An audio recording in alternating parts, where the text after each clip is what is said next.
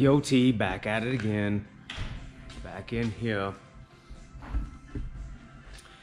So, what I've been doing. Uh, back to the hood. You back in the hood? No, back on the Firebird hood. Firebird hood, welding inside the quarter round in here. I have to prop it up against the wall because I don't have any any set up to where I can weld vertically. So I got this up against the wall. And what else am I doing? I'm making a canvas. So back to making canvases again too. Need some new ones. And uh, the new ones, because of the ones I already painted, they already sold and gone. So I'm, uh, that one got wet, wet. Um, so this one I'm making so I can do some new ones.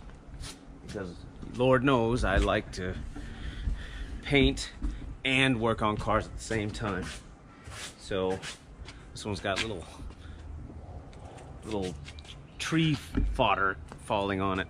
So I think I'm gonna paint it this purple as a base because I got a pretty interesting idea that I want to do with uh, my mechanized stuff and uh, I think um, I'm gonna try it on here color wise color scheme.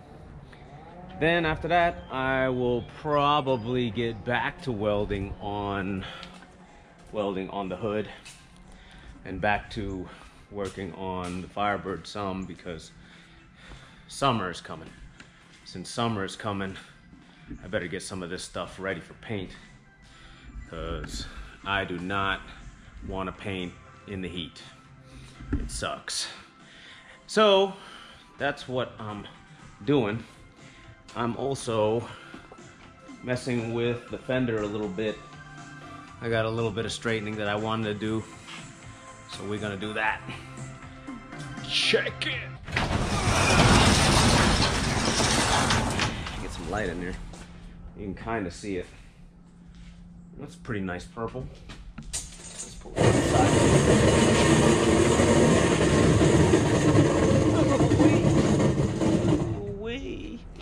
What do you think?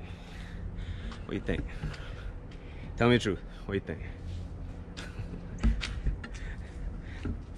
I like the purple. I think it's pretty uh, wild of a color.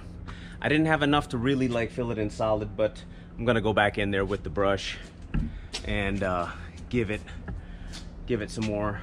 But uh, I mainly needed it just for the base, and then I can get the outline up.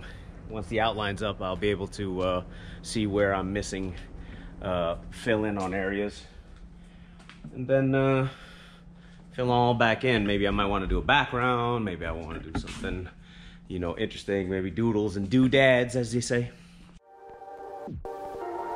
Woo!